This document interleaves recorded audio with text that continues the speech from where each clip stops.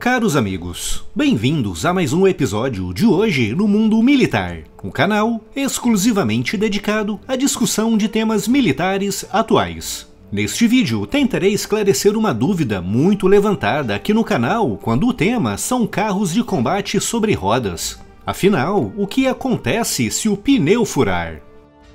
E se ainda não está inscrito no canal, inscreva-se já e acione o sino das notificações para não perder nenhuma novidade.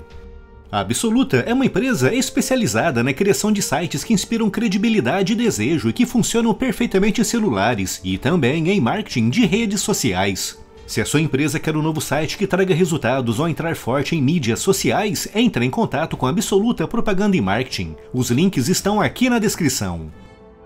Durante a Segunda Guerra Mundial, entre 1939 e 1945, todos os principais exércitos do mundo investiram pesado nos blindados de combate, dedicando grande esforço para aumentar cada vez mais o poder ofensivo e também defensivo daqueles autênticos monstros de aço.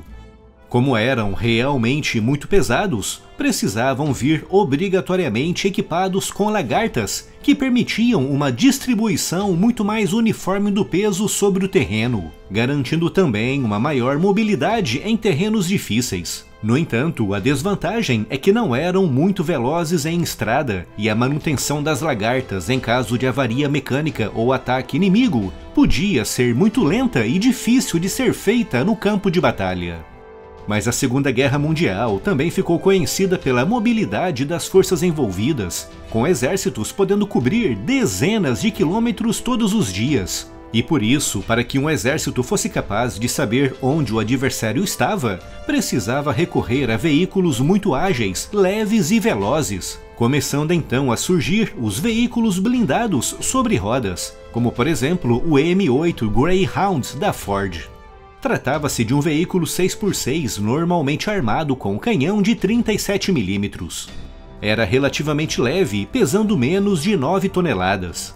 Por ser um blindado sobre rodas, era excepcionalmente veloz em estrada, ultrapassando os 90 km por hora de velocidade máxima, com uma autonomia de mais de 600 km, sendo por isso perfeito para se manter um olhar atento sobre o inimigo. O problema é que quando um dos seus pneus furava, o veículo perdia grande parte da sua mobilidade, obrigando à troca quase imediata do pneu danificado.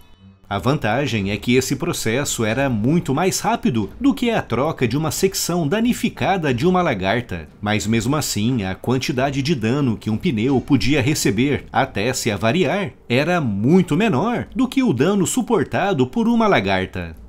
Isso levou, após o fim da guerra, ao desenvolvimento de um tipo especial de pneu, capaz de aguentar muito mais dano e, em caso de esvaziamento, capaz de manter algum nível de mobilidade do veículo, com os primeiros blindados com essa nova geração de pneus surgindo nos anos 70, com destaque para o Ratel sul-africano, um dos primeiros veículos de combate de infantaria equipado com pneus do tipo Run Flat. Um pneu com uma estrutura interna reforçada capaz de, em caso de esvaziamento, garantir um certo nível de mobilidade para o veículo.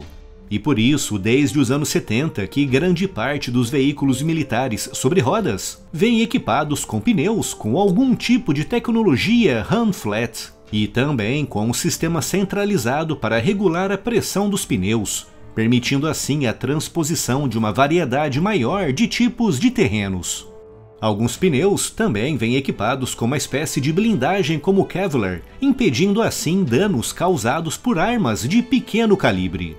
Isso levou ao desenvolvimento de blindados sobre rodas gigantescos, como foi o caso do Centauro italiano da Iveco, um 8x8 com quase 25 toneladas de peso e capaz de receber armas até então exclusivas dos blindados sobre lagartas, como um grande e poderoso canhão antitanque de 120 mm.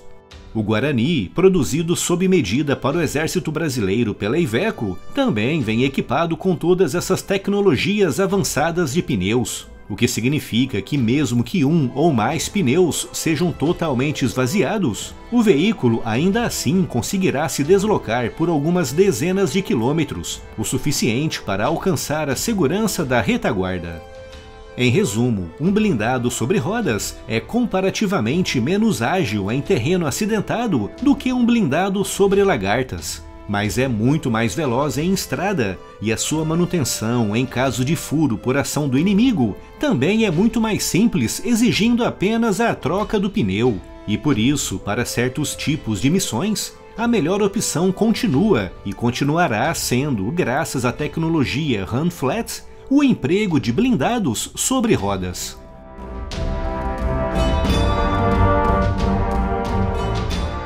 E não esqueça de conferir as incríveis novidades da loja. Além de adquirir aquele presente super bacana, ainda estará apoiando diretamente o projeto do Hoje no mundo militar. O link da loja está aqui na descrição.